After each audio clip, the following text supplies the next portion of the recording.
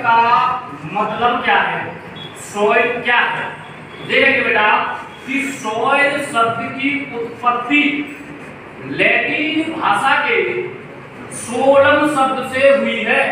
Latin भाषा के सोलम शब्द से।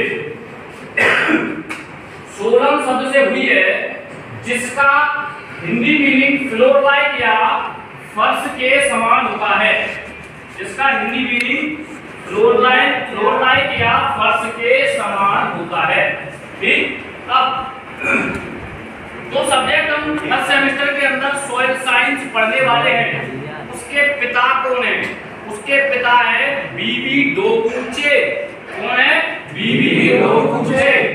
नेक्स्ट माय अब बात आती है कि सॉइल की डेफिनेशन क्या है? तो ध्यान से सुनेंगे कि मृदा एक वह प्राकृतिक पिंड है।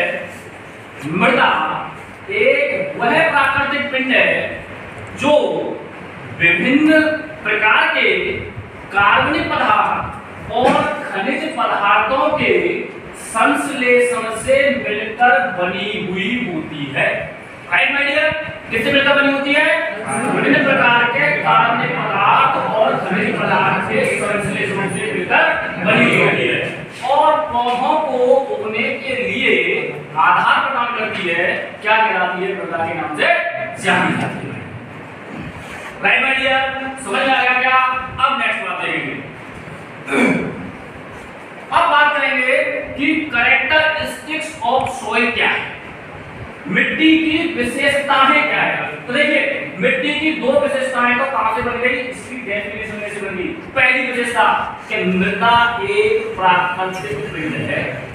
दूसरी विशेषता, मृदा विभिन्न प्रकार के कार्बनिक पदार्थ और खनिज पदार्थों के संश्लेषण से मिलकर बनी हुई होती है। तीसरी विशेषता, मृदा पौधों को उगने के लिए आधार प्रदान करती है। और चौथी विशेषता बढ़िया मृदा की जो संरचना होती है, वो थ्री डायमेंशनल या त्रिकोणीय संरचना